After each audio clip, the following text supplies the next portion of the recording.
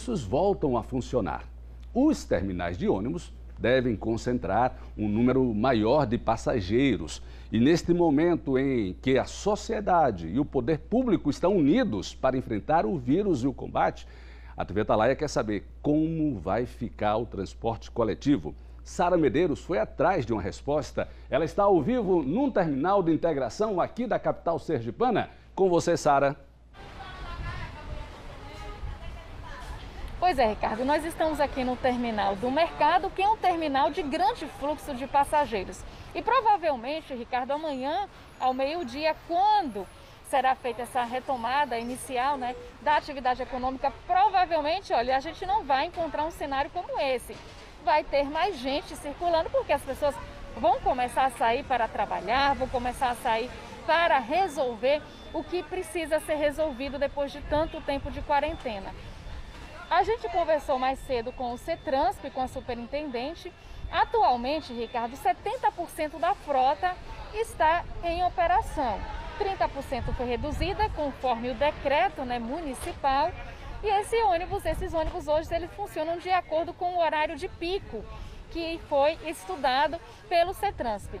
Para essa retomada, a Raíssa Cruz, ela disse que o CETRANSP está em contato sempre, né? Esse contato tem sido feito de forma constante, né, com os órgãos, com a prefeitura de Agraju, com o estado, mas vai depender agora de como quais medidas serão adotadas daqui para frente a partir do plano que será o plano de retomada da economia que será encaminhado ao CETRANSP. Esse plano ainda não foi encaminhado até hoje, mas a Raíssa reforçou que todas as medidas que já estão sendo adotadas, as medidas de segurança, de descontaminação dos veículos, né, dos é, funcionários dos rodoviários, as medidas como o uso de máscara, tanto pelos passageiros também como pelos é, as pessoas que trabalham, né, os cobradores, os motoristas, isso será mantido.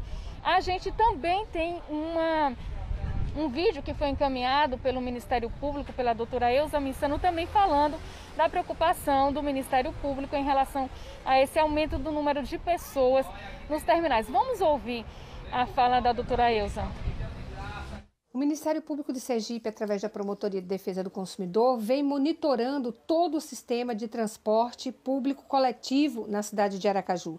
Duas ações civis públicas já foram ajuizadas, uma em face do município de Aracaju, outra em face da SMTT e de empresas concessionárias, para garantir a qualidade desse serviço à população, evitando aglomerações em terminais, evitando superlotações nesses veículos, com o índice de proliferação do novo coronavírus muito alto nesses locais.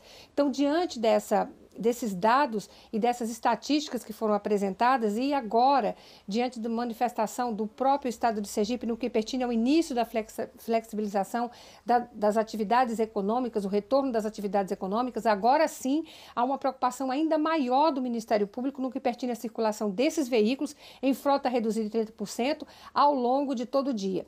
Então, vamos já peticionar mais uma vez nos autos dos processos, solicitando que haja essa manifestação judicial pertinente, já que houve o ajuizamento pedindo a nulidade do decreto que estabeleceu a redução de 30% da frota é, de veículos circulantes. Com isso, o que o Ministério Público deseja é que volte a frota normal de veículos a circular, evitando dessa maneira qualquer forma de aglomeração, causando assim desconforto à população e, sobretudo, riscos de contaminação é, pelo novo coronavírus.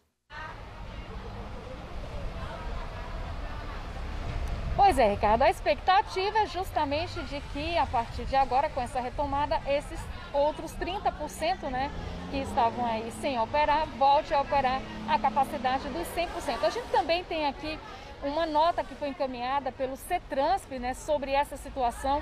Eu vou agora aqui ler essa nota.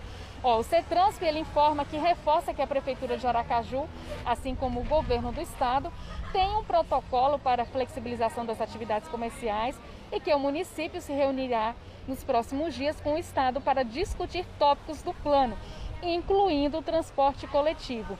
A SMTT ressalta que, diante do crescimento do número de casos do novo coronavírus em Aracaju, o isolamento social continua sendo fundamental para o combate à doença e que o transporte coletivo deve ser utilizado por aqueles que exercem funções consideradas essenciais ou em casos de extrema necessidade. E é o que vai acontecer daqui para frente, né, Ricardo? As pessoas vão começar a retomar as suas atividades de trabalho, vão começar a também retomar as suas atividades de ir ao comércio para resolver o que tem necessidade. E a expectativa é realmente que essa frota ela volte em 100% e como foi bem dito aqui na nota e como a gente conversou também com a Raíssa, que é a superintendente do CETRANSE, ainda essa semana eles devem estar sentando para definir todo esse cronograma. Ricardo.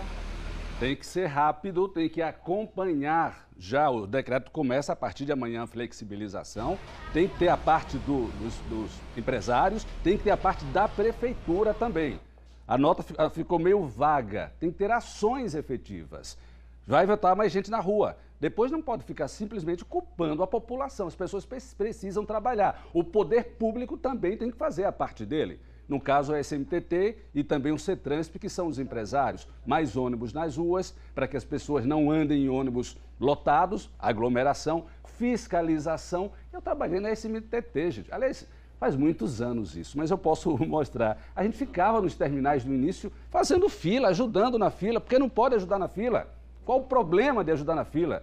Era, era a SMTT que fazia isso antes, não sei como é agora, se com a ajuda do CETRANSP, mas tem que todos estarem unidos, para depois nossas autoridades dizer a culpa é da população, foi todo mundo para a rua. E... Não, Mãos dadas, poder público e sociedade. Estamos enfrentando o vírus juntos. É a retomada da vida. Eu até coloquei aqui: aumentar o número de veículos, como está pedindo o Ministério Público, fiscalizando, colocando fiscais nos terminais, orientando a população para que juntos, principalmente porque a população, a maior parte da população que pega ônibus, precisa dessa orientação, de perto, de perto.